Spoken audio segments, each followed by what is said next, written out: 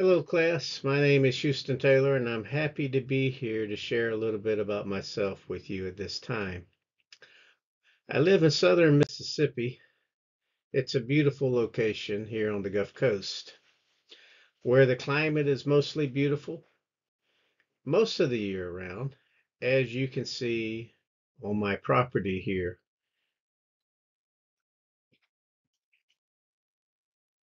We have geese and ducks and many different types of wildlife that venture onto this property because this seven and a half acres backs up to 100 acres and then behind that is national forest. The sunsets are beautiful and the property is rolling hills you can see my camper in the corner, top right corner of this picture here. I used that camper for evangelism outreach. As you can see here at a church in Tennessee that my wife and I recently visited. And we had a great time there. I was able to park my camper right behind the church itself.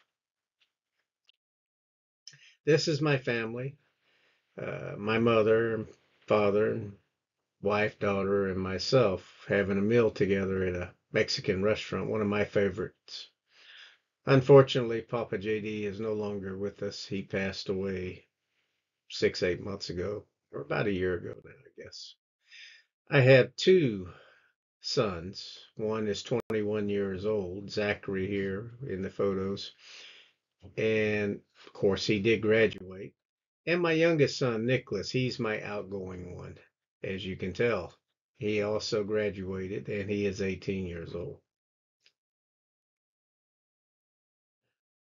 I did meet my wife in the Philippines while I was building a church in 2012, 2013. She is the woman of my dream. She was my interpreter there, Filipina.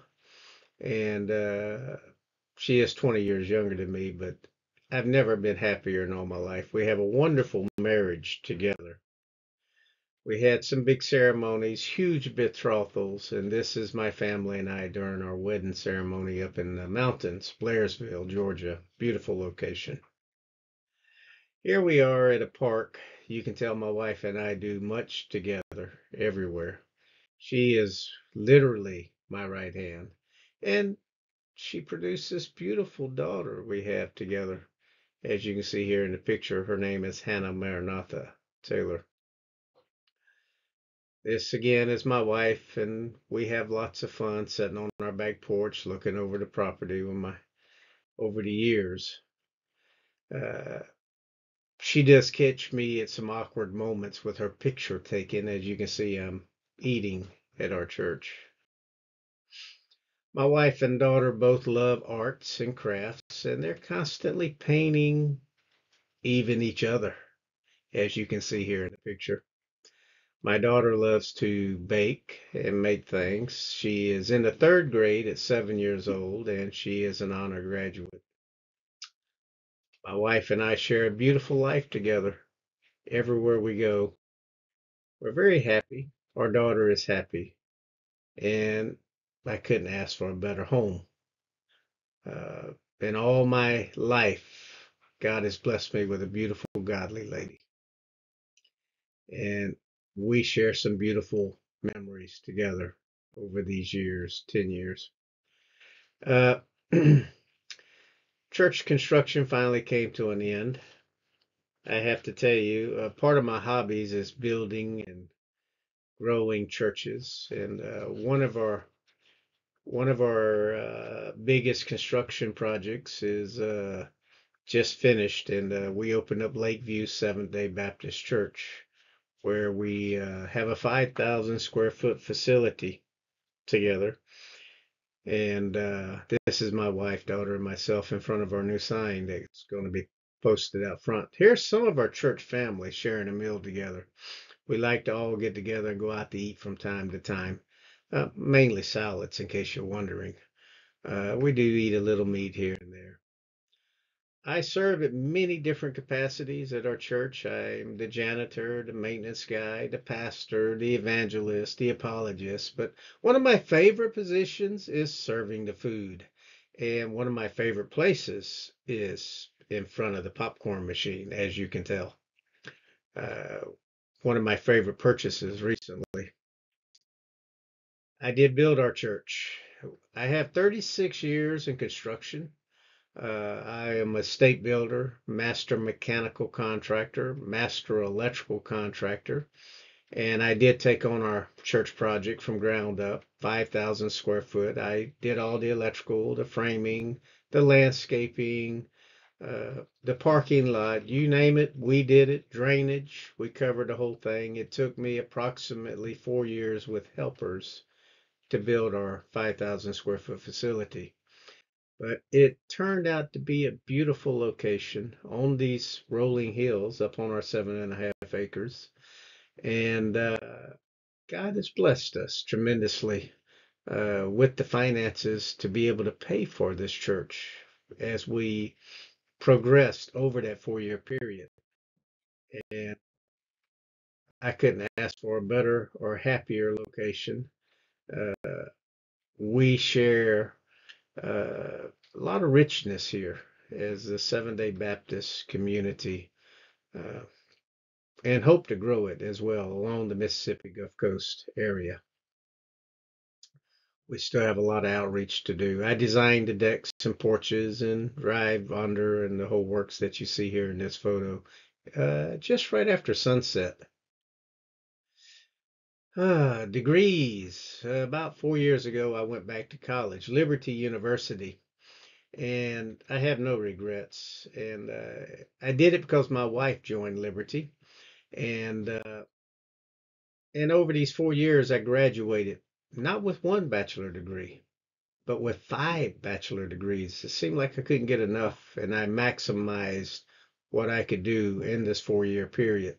I did get five bachelor degrees of science and religion, biblical and theological studies, apologetics, global studies, Christian leadership, uh, evangelism, and I have a minor in Christian uh, ministries only because Liberty wouldn't let me have six bachelor degrees. But that's okay. I think somewhere somebody's got to draw the line and produce a limit. So these are the degrees I have earned recently that were conferred in December in these photos. I have no regrets. It's been a wonderful uh, time here at Liberty. Currently, I'm enrolled in the Master of Arts of Pastoral Counseling and Community Chaplaincy.